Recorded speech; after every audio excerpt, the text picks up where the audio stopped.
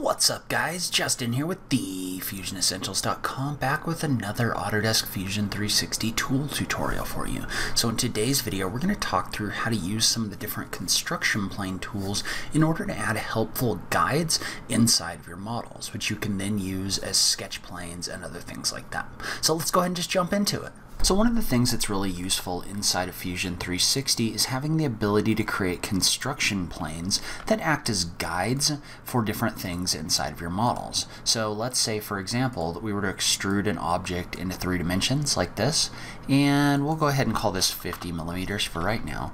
So let's say that you wanted to add something like a recess inside of this model a certain distance away from this face. Now one thing you could do is you could come in here and draw a sketch plane and then draw edges from the top in order to make sure that you've got this where you want it to be. You could draw all of that in there, but there's a much faster, easier way to do that, and that's going to be to use the construction planes. So in this video, we're going to focus specifically on the planes in the top portion of this. We can talk about these other settings at a future point.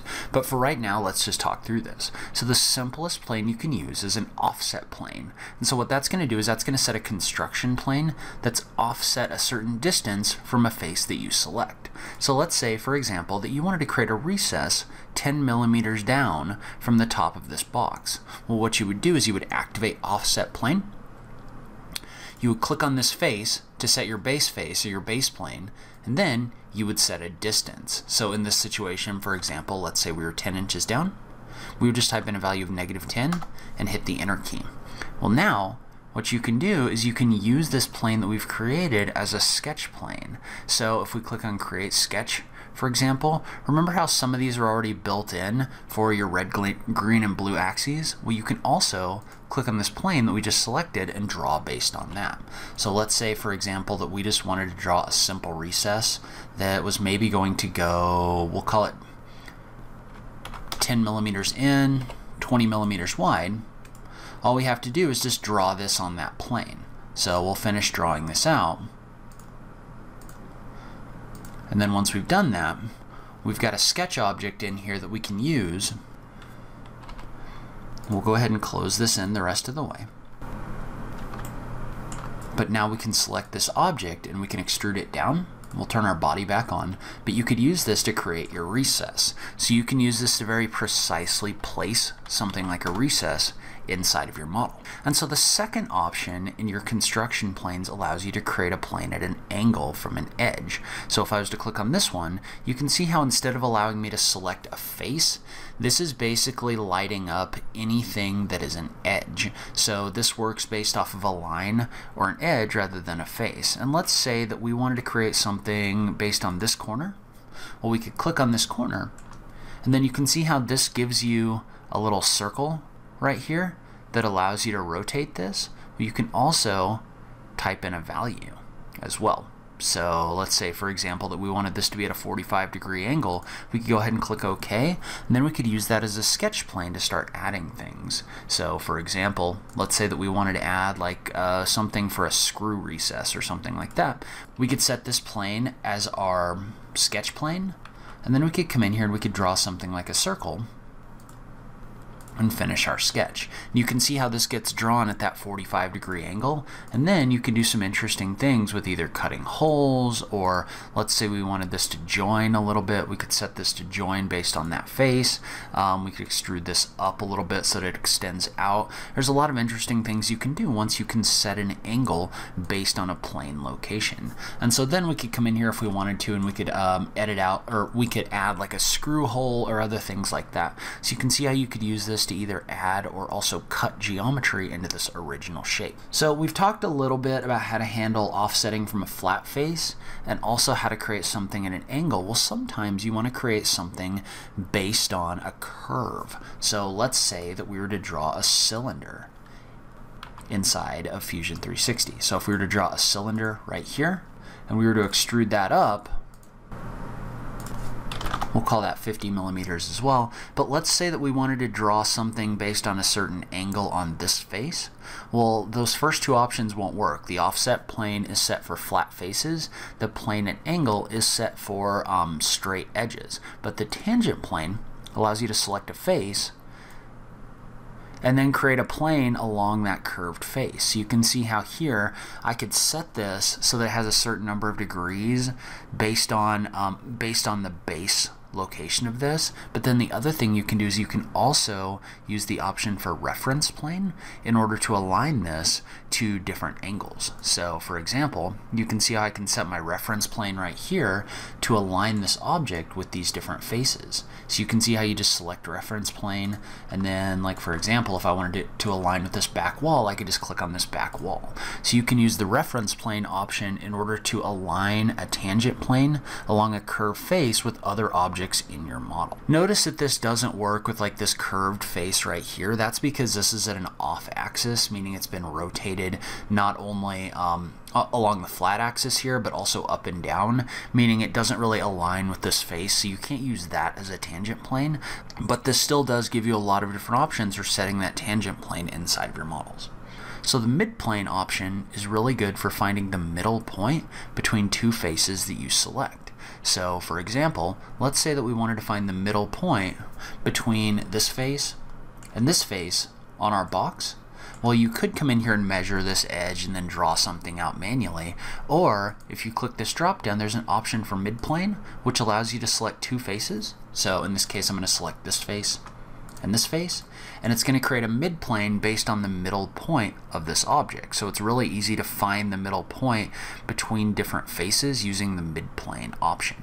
And one thing I want to point out about this is not only does this work for faces that are parallel with each other, it also works with other faces. So like for example, these two are perpendicular. So if I was to select this plane, and this plane, you can see how this gives me an angle, or this gives me a plane at an angle that kind of averages between these two different faces. So you can use this to kind of average between different faces as well if you need something like this. So sometimes the operations you want to do get a little bit more complicated than simply finding the middle point between two parallel faces or something like that. There's also tools in here to find other things.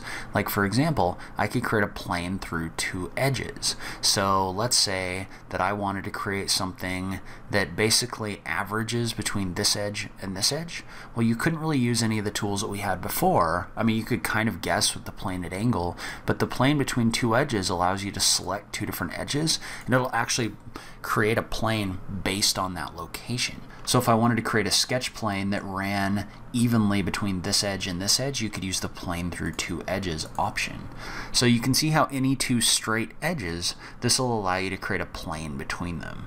So however, this really only works for edges that create kind of a plane. So for example, if I was to try to do that between this edge and this edge, that wouldn't work because you're, there's not really any location where you could create just a flat plane between these two edges because they're running at different angles in different directions.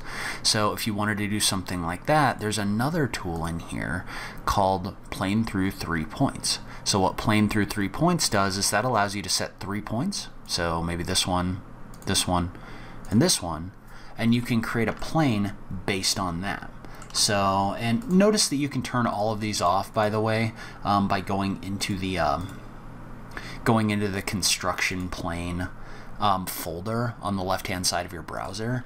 But you can see how this allows me to create a plane that runs between these three points. So if you have kind of an irregular shape or something that isn't as simple as just running a plane through two edges, you can use the three points in order to create a flat plane through those three points. So this would also work if we were to go from here to here to here. So it really allows you to kind of set those planes based on what you're trying to do through those three points.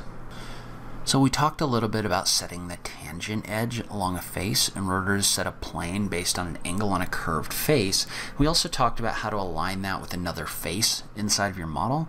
You can also use the plane tangent to face at point in order to align that tangent plane with a point. So if I was to click on this face, for example, and then I was to click on a point, you can see how that would align a tangent plane along this curve based on this point. So You can do that with really any point in your model. So if you want to create something that kind of aligns with something else in here, you can use a plane doing this. And remember that again, one of the reasons that this is really important is because this allows you to come in here and create different sketches and other things at those odd angles. So that's one of the really powerful things about Fusion 360 is you can see how it gives you the ability to do stuff like this um, without having to do a whole bunch of extra work. It's very intuitive.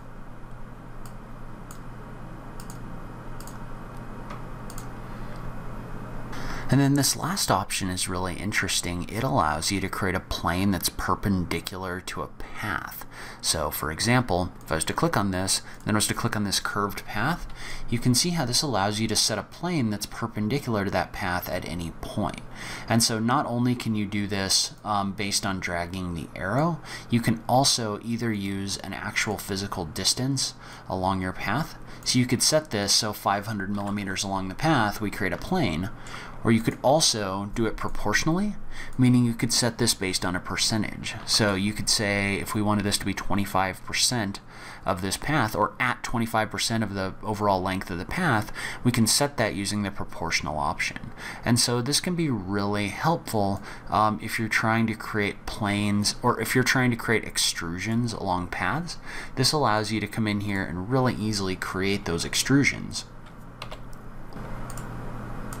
based on a profile that you set. So for example, if I wanted to sweep this along this path, we would just select our path, we'd select our profile, and you can see how because that allowed us to draw this perpendicularly to this path, it was really easy for us to come in here and draw that sketch and then create this extrusion without any problems. So obviously there are a lot of useful applications for this. I wanted to give you kind of an idea of some of the capabilities that we have to create those construction planes you can then use as sketch planes or references or anything else inside of Fusion 360. But leave a comment below, let me know what you thought. Was this helpful to you? Did you know that you could do this with these tools inside of Fusion 360? I just love having that conversation with you guys. If you like this video, please remember to click that like button down below. If you're new around here, remember to click that subscribe button for new Fusion 360 content every week. As always, thank you so much for taking the time to watch this. I really appreciate it, and I will catch you in the next video. Thanks, guys.